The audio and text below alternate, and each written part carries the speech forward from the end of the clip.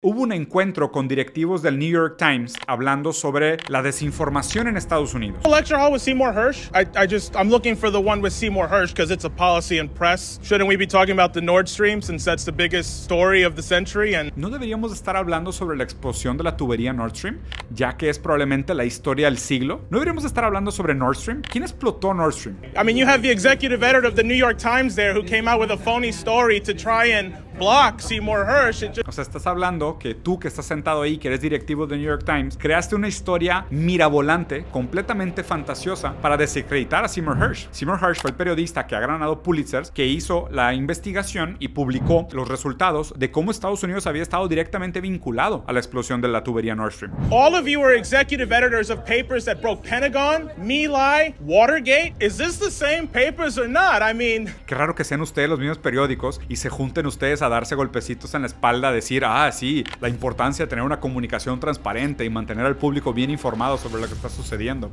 Bien. is there anything you've gotten right in the last 20 years or ¿Ustedes han dicho alguna verdad en los últimos 20 años? ¿O, o- o si, le atinaron a algo fue de que sin querer? am I mistaken about that? I mean, it's just Y me encanta que toda la gente que está en el público, que son muchos otros reporteros, se están riendo. Imagínate tener que sentarte en esa junta y tolerar esa, esa ambivalencia, ¿no? O sea, tú mismo ser parte de esa paradoja de libertad de medios, libertad de prensa, transparencia, no fake news. Y estamos aquí con el New York Times, güey, que acaban de bloquear probablemente la historia más importante del siglo. So, the last thing you could do to try and actually fix your reputation is acknowledge that through leaks, we had to find out that Zelensky was going to bomb Moscow on the anniversary. Y lo más, lo más raro de esto es ver cómo la gente no sabe contestar. ¿Por qué no se puede alguien parar y gritarle a este güey de que ya deja de decir este tipo de cosas? ¿O por qué? Porque no se pueden salir del papel de ser reporteros serios, adultos, bien comportados. Porque si, si abandonan ese papel, tendrían también que, que confrontarse con la realidad que él les está presentando. Ellos tienen que mantener las apariencias, la falsedad, la social espectáculo. Porque en el momento que se rompa esa línea, son obligados a confrontarse con esa realidad terrible que él les está revelando. Right? That Zelensky was going to bring us on the verge of World War III? That seems pretty fair.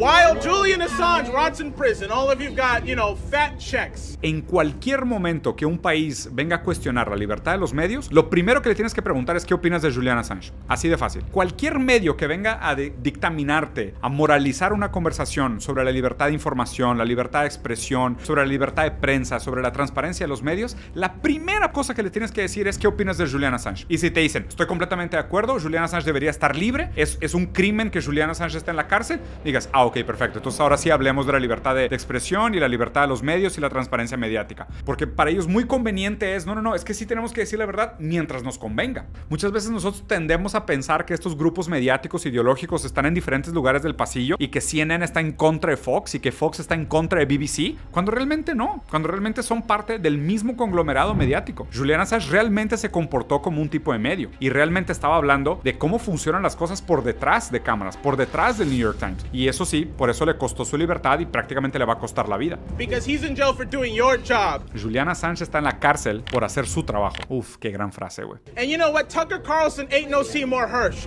but he did something you guys are scared to do speak the truth and actually be critical of the war, which is why he was actually fired from Fox. Because you are all cowards. Every single one of you.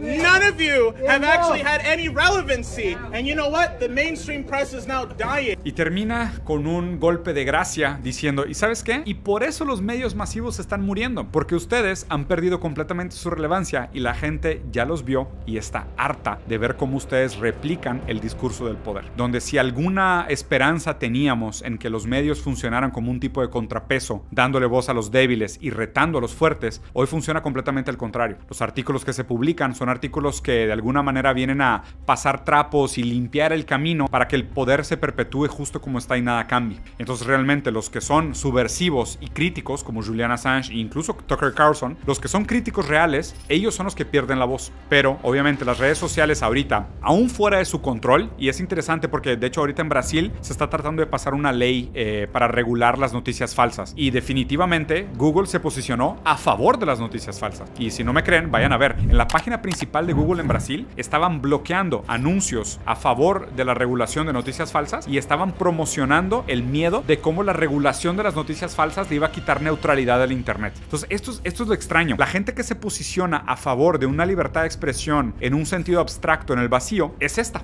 O sea, es gente que dice, no, no, no, preferimos seguir diciendo mentiras porque así también se perpetúan las condiciones que hacen de nuestro funcionamiento como empresa eh, longevo, sustentable. Porque que eventualmente si quitamos el poder de la propaganda y el patrocinio de las grandes empresas y los lobbies, pues el negocio a lo mejor ya no va a ser tan rentable. Y ahora como existen tantas plataformas alternativas, más baratas o hasta gratuitas de información, pues el periódico tradicional y los medios tradicionales tienden a desaparecer.